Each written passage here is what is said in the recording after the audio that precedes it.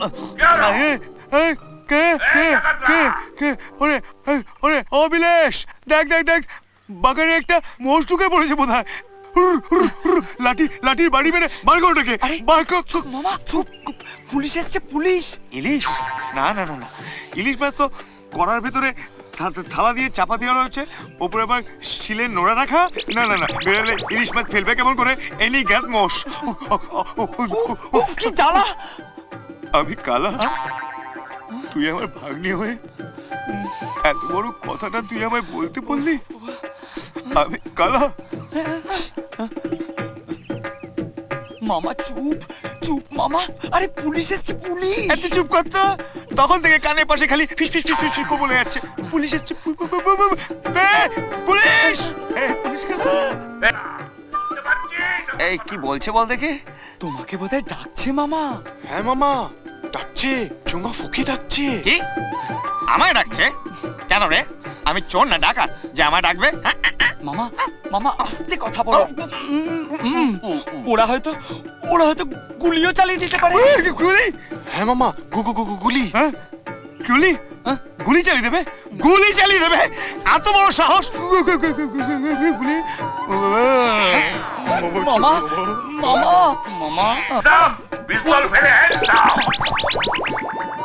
Sir হ্যাঁ? আগারি গুণধর বাবু আছেন sir. গলি টলি চালিয়ে দিবেন না। আরে না না। গুণধর বাবু আপনার কোনো ভয় নেই। আমি তো আছি। এই বুঝেছেন না? ও বড় বাবু এইসব আবার কি কথা? বললাম তো আপনার কোনো ভয় নেই। এই ডাকাতরা এখনও পিস্তল বের করছিস না কেন? বে- বে- পিস্তল? ওরে বাবা এইসব আবার কি শুনছি? হ্যাঁ? রে তোরাও সঙ্গে করে পিস্তল নিয়েছিস নাকি? হ্যাঁ? আরে না না পিস্তল কোথায় পাবো? দা দারোগা বাবু বোধহয় ভুল করছেন। উল করছেন। ভুল? হ্যাঁ। নিকুঞ্জ সামন্তিকা তো কাঁচা লোক পেয়েছিস হ্যাঁ? দারোগাগিরি করতে করতে। ধরো মশাই চোঙাটা মুখের থেকে নামান তো? তখন থেকে চোঙাটা মুখের মধ্যে দিয়ে শুয়োরের মতো গদগদ করছেন হ্যাঁ? কি হয়েছে পরিষ্কার করে বলুন দেখিনি ইয়ে মানে আবার আবার চোঙা তোলে। হুম হুম। আপনার বাড়িতে পাঁচজন ডাকাত আসেনি? ডাকাত? আমার বাড়িতে? হ্যাঁ? আমরা ডাকাত? কি সব যাতা বলছে মামা? যাতা বলছি? হ্যাঁ?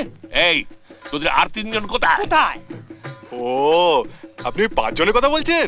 এই চুপ মার দেখি। ব্যাপারটা আমাকে ভালোভাবে বুঝে নিতে দে। বড় বাবু বোধহয় আমাদের ডাকাত ভাবছেন।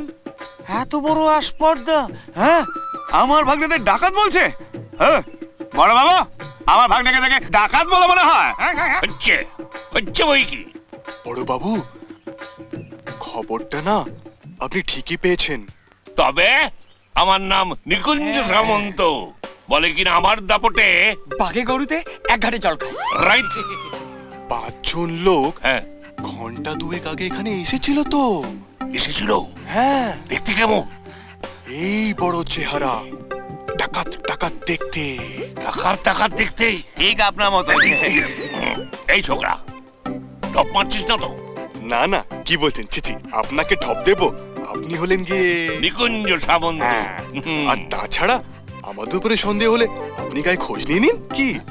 আমরা এখানে প্রায় এক দুই তিন চার প্রায় আট দিন ধরে আছি। হ্যাঁ। তাহলে ডাকাতগুলো গেল কোথায়? বড় বাবু ওদের না একেবারে সন্তোষপুরে পাঠিয়ে দিয়েছি। হ্যাঁ সন্তোষপুর?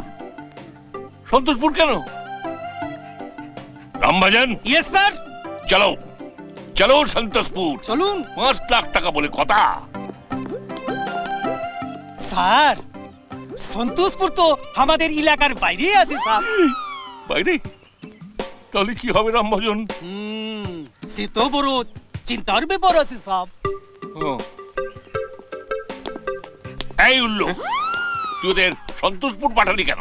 না মানে বড় বাবু আমি কি করে জানব যে আপনি পাঁচ লাখ টাকার জন্য up! স্যার একে থানায় নিয়ে চলো। পাঁচ লাখ টাকার দুঃখটা এর পিঠেই ছাড়বো। আপনার ওই পাঁচজন ডাকাত পরশু এখানে ফিরে আসবে। হ্যাঁ? ফিরে আসবে? ইয়ে মানে কেন ফিরে আসবে কেন? আমাদের ঠ্যাঙ্গাতে তোমার তো খুব লাগবে। এত বোকা পেয়েছেন আমাকে তার আগে আপনাকে খবর দিয়ে দেবো। বাহ গুড বয় হ্যাঁ। ভেরি গুড বয় হ্যাঁ। আরে তোমাদের মতো ছেলেটা থাকলে না দেশটা একেবারে তত্তর তত্তর করে এগিয়ে যাবে।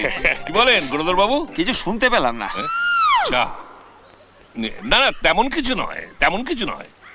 বেটারা এলে খবর দেবে। হ্যাঁ। খবর পেলেই আমি সঙ্গে সঙ্গে চলে আসব। হ্যাঁ। হাজার হোক। পাঁচ লাখ টাকা বলে কথা। কারেক্ট হ্যাঁ। পাঁচ লাখ টাকা। ও বাবা। ওরে বাবা। এই রামবাজন চলো। চালিয়ে। নিকুঞ্জ আবার এসো। গাছে কাঁচকলা হচ্ছে খাওয়াবো।